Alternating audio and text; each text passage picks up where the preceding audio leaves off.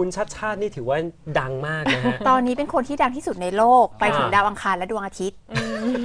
คุณชอบพูดถูกนะฮะ ค่ะ เทียบกับจัสตินบีเบอร์ได้เลย ค่ะ ไม่ได้จัสตินบีเบอร์เทียบไม่ได้คุณ เพราะว่าท่านชัชชาติของเราเนี่ย เป็นคนแรกที่ไปเหยียบดวงอาทิตย์ ครับ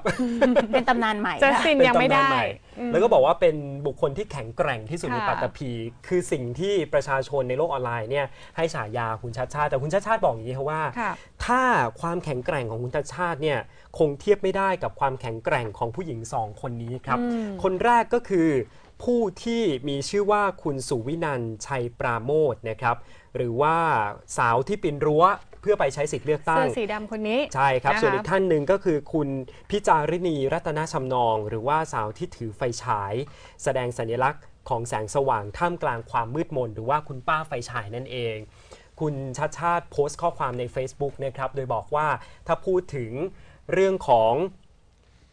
ความแข็งแกร่งค่ะในปัตตภีแล้วเนี่ยคุณชาติชาติยกย่องให้สองคนนี้ เป็นความแข็งแกร่ง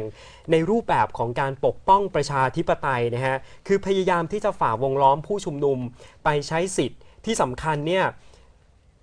ไม่สำคัญว่าท่านทั้งสองท่านเนี่ยจะเลือกพรรคไหน หรือว่าการโนโหวตโหวตโนนะฮะอืมที่สำคัญที่สุดคือ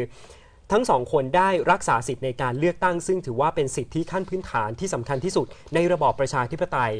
คุณชัดชาติระบุข้อความในช่วงท้ายด้วยว่า ผมขอคารวะผู้มีสิทธิ์เลือกตั้งที่แข็งแกร่งที่สุดในปัตตภีทั้งสองท่านอย่างเต็มหัวใจครับนะฮะค่ะก็ถือว่าเป็นการยกย่องผ่าน Facebook เลย แล้วก็เป็นการ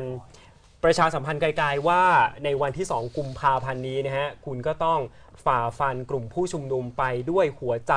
ที่แข็งแกร่ง แล้วก็หัวใจที่รักประชาธิปไตยเพื่อไปใช้ค่ะสิทธิ์ของตัวเองด้วยนะครับ ค่ะ ต้องทำตัวให้เป็นฮีโร่ได้เท่ากับคุณชัดชาติ แล้วก็สองสาวที่ฝ่าฟันทุกสิ่งทุกอย่างเพื่อไปเลือกตั้งนะคะ